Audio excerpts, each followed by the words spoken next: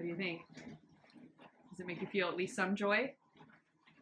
Yeah, yeah? Really? Okay. a lot of joy. Take another bite and then it's my turn.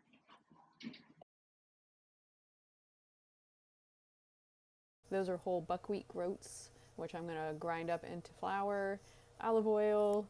Then you've got some golden flaxseed, which I'm also going to grind up into flour, and then some brown sprouted rice, which I am also going to grind up into my own motherfucking flour. Here I am grinding up some of that sprouted brown rice, and now the buckwheat groats. I'm just using my badass ninja I'm shaking it up a little bit to keep it because it's so thick. I want to make sure it all gets ground. I didn't have quite enough of the sprouted brown rice flour. The recipe specifically says that I can use regular rice flour, so I added in a cup of that to make the whole amount that I needed. Dang it! I didn't read the directions right. Now the flax seeds are in there, and I need them in the liquid ingredients. Okay, so I'm going to try and clean this up. So I got most of the flour um, off of the uh, ground flax seeds. Luckily, the flax seeds were uh, kind of denser, so it wasn't that hard to do it.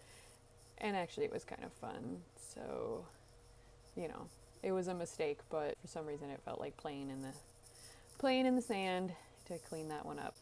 Okay, so here's my four cups of water, and I'm adding in the maple syrup next time I will mix up the maple syrup real well to make sure it's well combined with the water before I put stuff in because it got all gloopy and kind of nasty.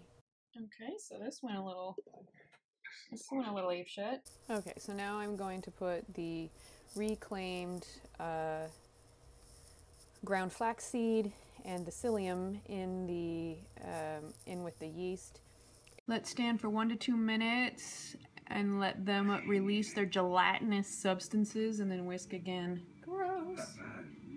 Now let's whisk, whisk. Oh my god, it's so thick. What the hell? Okay. So I started doing, I started following the directions and saying, you know, start blending it in a bowl, but I don't have any huge bowls. I live in too small of an apartment to store humongous bowls. So um, I pretty quickly realized that it was easier just to get the gelatinous substance somewhat uh, covered in flour and then I just put it out on the on the kneading pad. So I'm just going to keep working this together. It actually felt really good because it was nice and warm and it just I used to love baking bread and um, this smelled all yeasty and felt great. It wasn't sticking to my hands that bad. It was just it was it was pure joy. I was having a hell of a good time while I was kneading this shit up.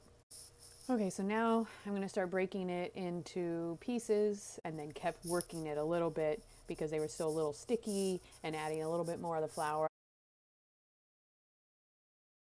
Okay, so here they are after rising. So after rising, it was time to boil them. So I got a couple pots of water going and uh, just put them in one at a time and boiled them on each side for two minutes.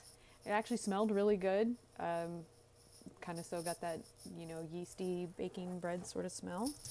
So that was cool. Oh my god, I'm so excited. I think it's gonna work. I think it's gonna work. Oh my god. Okay, so unfortunately, uh, Ainsley and I got so excited when the, it was ready for the bagels to come out of the oven that we forgot to record what they look like when they actually came out of the oven. But um, we certainly didn't forget to record what they look like going in our bellies.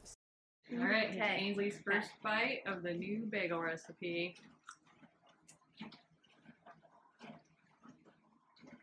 What do you think? Does it make you feel at least some joy? Yeah, yeah? Really? Okay. a lot of joy. Take another bite and then it's my turn.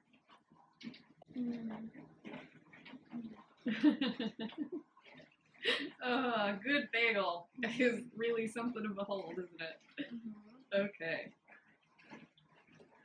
So let's see. So I have the bottom, but that's okay. That's how this goes.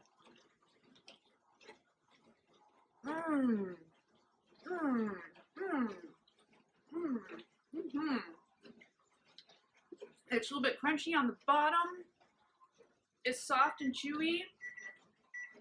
There's good flavor. This is goat cheese. It's delicious. Oh my god. We're totally on the road to replicating the most amazing bagels we've ever had, but they're only in Sisters, Oregon.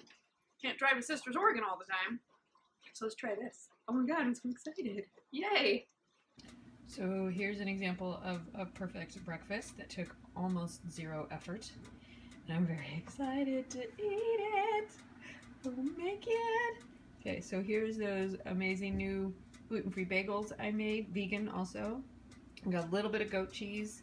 Um, because I'm still low FODMAP and I'm not really supposed to be eating goat cheese, but I'm doing it anyway.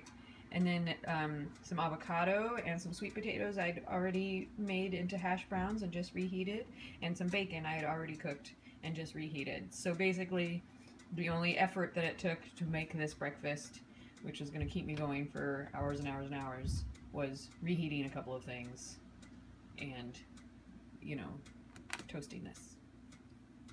I'm very excited.